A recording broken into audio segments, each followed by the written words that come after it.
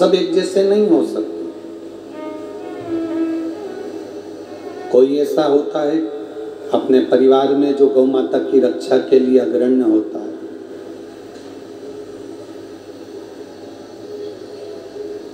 कोई ऐसा होता है, अपने परिवार में कि गौ माता की रक्षा के लिए आगे रहता है।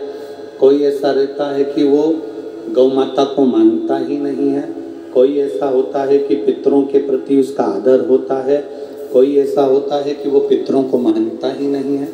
कोई ऐसा होता है कि वो मंदिर में भगवान को प्रणाम करना जानता है? कोई ऐसा होता है कि मंदिर में भगवान की मूर्ति को भी पत्थर मानता है? कोई ऐसा होता है, भगवान को प्रणाम करता है और कोई ऐसा होता है कि भगवान का अपमान करता है?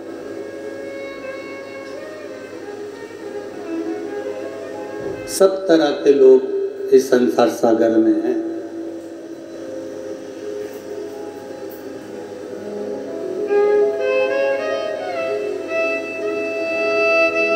कपड़े ऊँचे होते चले गए, और व्यक्ति के जो कर्म हैं, वो नीचे होते चले गए।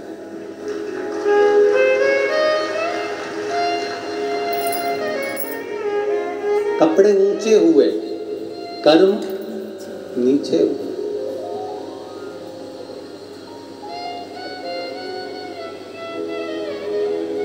थोड़ा अगर पढ़ लिख जाओ आपको अच्छी नौकरी मिल जाए। आप अच्छे शहर में रहने लगो। तो ये मत सोचना कि हम आधुनिक हो गए और अपने संस्कारों से विहीन हो गए।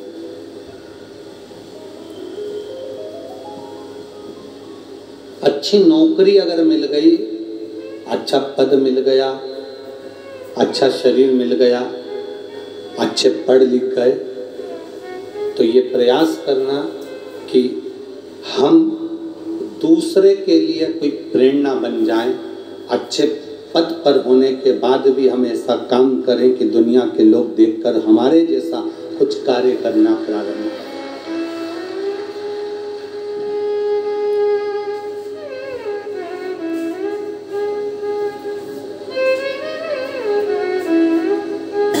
पढ़ा लिखा होता चले जाता है, बहुत विद्वान बनता चले जाता है। अच्छे लोगों में उसकी बैठक होने लगती है, नौकरी अच्छी मिल जाती है, बड़े शहर में रहने लगता है। तो दो चीज़ें उसके घर में उसकी स्त्री के पास से चली जाती हमारी इस बात का लोगों को बहुत बुरा लगेगा कि गुरुजी कौड़िया में बैठकर आज ये वाली बात बोली। लगे लगे तो उसमें कोई विशेष वाले अपन नहीं झेलते ज़्यादा, हो। ज़्यादा टेंशन लेकर कथा नहीं करते।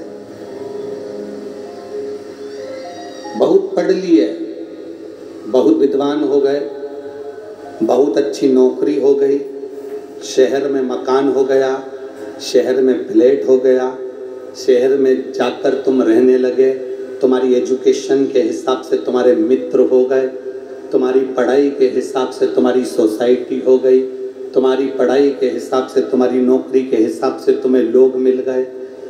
पर उसके घर की स्त्री के पास से दो चीज़ें चली गई।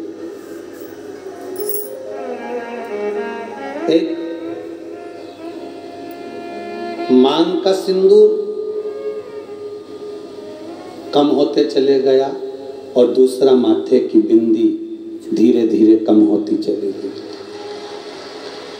बोलो री कौड़िया की जीजियाँ, सही है कि गलत? है जितना ज़्यादा व्यक्ति अपने आप को अप टू डेट समझने लगता है कि हम पढ़े लिखे हैं, हम विद्वान हैं, हम ज्ञानवान हैं धीरे धीरे उसके उसने मांग में सिंदूर भरना बंद कर दिया, माथे पर बिंदी लगाना बंद कर दिया। हम कहते हैं, आपसे ज़्यादा पढ़ाई में अव्वल, आपसे ज़्यादा एजुकेशन में अव्वल, आपसे अच्छी अंग्रेज़ी बोलने वाले दक्षिण में, साउथ में बहुत सारी बेटियाँ भी हैं, बहुत सारे बेटे हैं। पर एक भी दक्षिण में, साउथ में आप जाकर देखना वहाँ का एक कोई लड़का, कोई लड़की कॉलेज पढ़ने वाला स्कूल पढ़ने वाला ऑफ़िस में नौकरी करने वाला, सरकारी नौकरी करने वाला, बड़े पद पर बैठने वाला, किसी एक व्यक्ति को ऐसा बता देना कि जिसके सिर पर तिलक नहीं हो और जिस नारी के मस्तक पर बिंदी नहीं हो और बाल में गजरा नहीं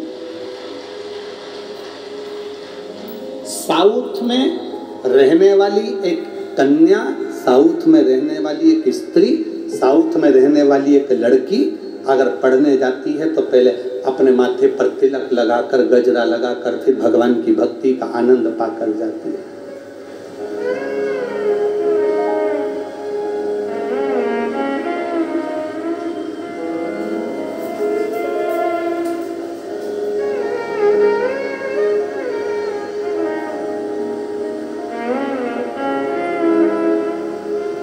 एक हमारे यहाँ की फ़िल्में बनती हैं तो उन फ़िल्मों में हमारे देवताओं का और मंदिर का, मठ का, संतों का अपमान बताया जाता है। और साउथ दक्षिण की फ़िल्में बनती हैं तो उस प्रत्येक फ़िल्म में मंदिर का दर्शन बताया जाता है, मंदिर की पूजन बताई जाती है।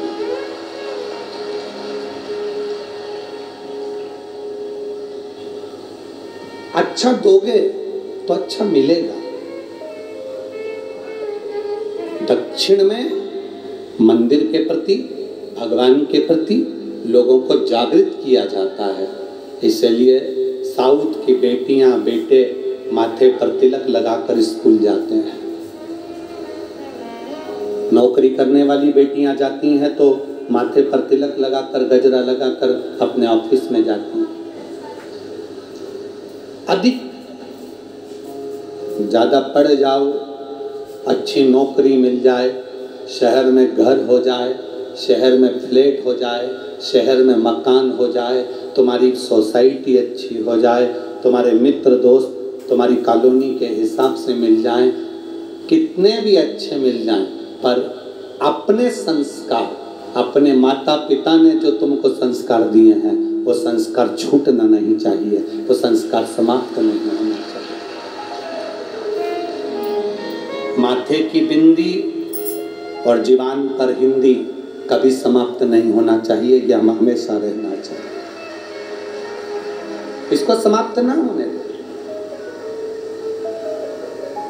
हमारे बीच में शबरी नारायण वाले महाराज जी पधारे हैं। एक बार जोरदार ताली बजाकर स्वागत करें।